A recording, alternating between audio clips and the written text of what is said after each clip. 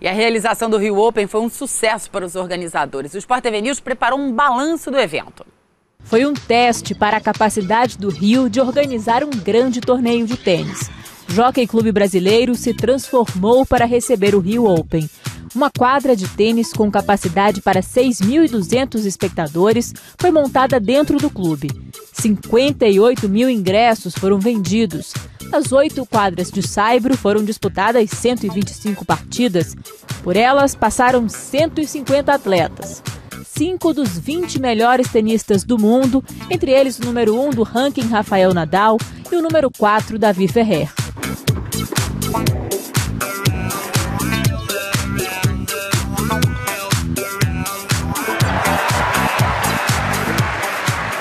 O evento, realizado em pleno verão, fez os tenistas suarem muito.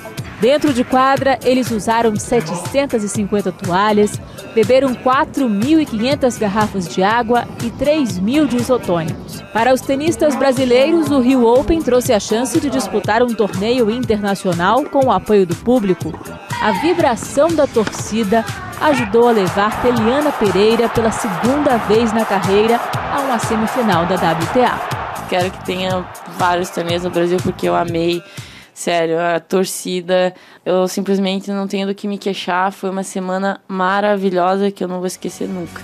Tomás Belucci conheceu a emoção de sair aplaudido mesmo depois de uma derrota.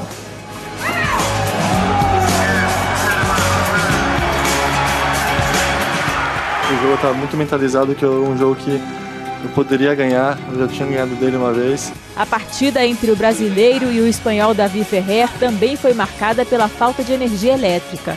O jogo teve de ser paralisado durante uma hora. Para a organização, o problema não chegou a comprometer o sucesso do evento. Acho que o público adorou, os patrocinadores é, gostaram também do produto. Acho que é um produto novo é, que vai ser desenvolvido ao longo dos anos. Tem tudo para melhorar ainda mais e estamos muito empolgados Uh, já queremos começar a trabalhar amanhã para 2015. A segunda edição do Rio Open está confirmada para o ano que vem e já tem data de início pelo calendário da ATP, dia 16 de fevereiro de 2015. Tem gente que já anotou o compromisso na agenda. Nos vemos el año próximo. Vale.